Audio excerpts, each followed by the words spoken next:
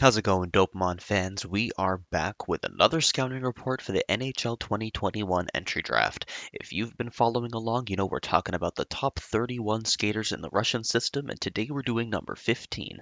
That's right, we're halfway through. They only get better from here. Number 15 is Dmitri Zugan. He's a center playing for Krasnaya Armiya Moskva in the MHL, stands 5 foot 10 and weighs in 183 pounds.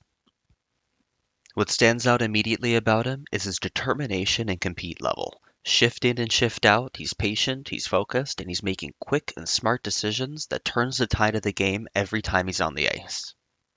Most notably is that he doesn't shy away from the physical part of the game. Despite being a little bit smaller, he likes to fight for positioning in front of the net where he does score from, and he also is really strong on those 50-50 stick battles where he tends to beat guys who are bigger and stronger than him. He also stays very calm in high pressure scenarios, which makes him really good at defending the cycle on the PK. Unfortunately, he doesn't have the elite offensive skills to make him a top six forward, but I do think he has the, the tool set to become a bottom six or PK specialist kind of role in the NHL.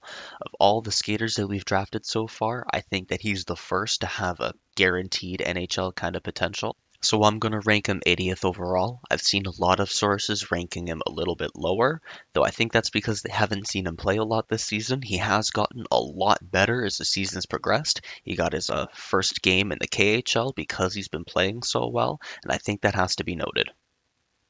So I see him going late in the third round because he is such a safe pick. Thank you so much for watching. Let me know down below if you've seen him play, if you think so highly of him as I do, and don't forget to like and subscribe so you can catch us in the next scouting report.